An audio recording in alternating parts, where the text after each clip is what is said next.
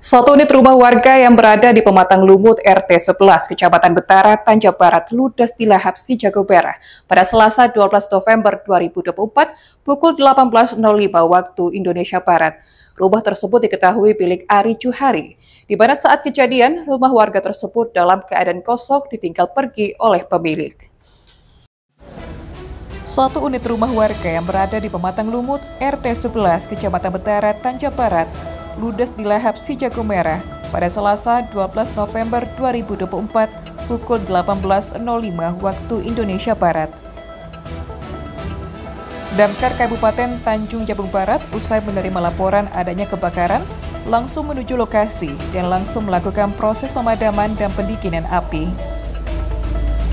Dalam kejadian tersebut tidak ada korban jiwa dan api berhasil dipadamkan meski rumah warga tersebut mengalami kerusakan parah akibat amukan si jago merah. Kepala Dinas Pemadam Kebakaran Tanjung Jabung Barat, Iswardi mengatakan bahwa saat kebakaran, kondisi rumah milik Ari Juhari tersebut dalam keadaan kosong ditinggal pergi keluar oleh sang pemilik dan api sudah membesar baru diketahui warga. Dengan dibantu TNI, Satpol PP, Tagana, dan warga, akhirnya api berhasil dipadamkan dan tidak merembet ke bangunan lainnya. Untuk penyebab kebakaran sendiri, sampai saat ini masih dalam proses penyelidikan dari pihak terkait.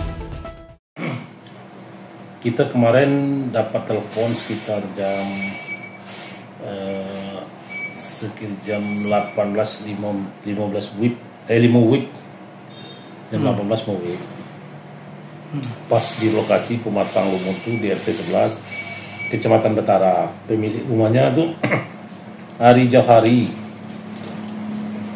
Nah, terbakar satu rumah habis. Nah, kami kita dari pos pemadam kebakaran pematang lumut begitu mendengar laporan langsung meluncur ke lokasi hmm. dan langsung melakukan pemadaman dan pendinginan serta mengevakuasi kondisi sampai kondisi aman.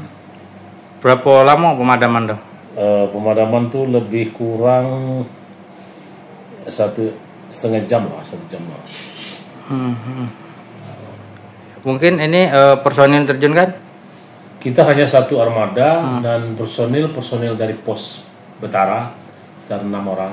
Mungkin uh, dugaan sementara apa tuh? Kalau untuk kita lihat nah, tuh. ini yang belum kita ketahui karena masih hmm. dalam tahap penyidikan hmm. lebih berwenang. Hmm. Ini rumahnya semi permanen atau seperti apa nih?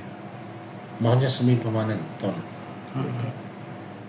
Surya Kurniawan, Cek TV melaporkan.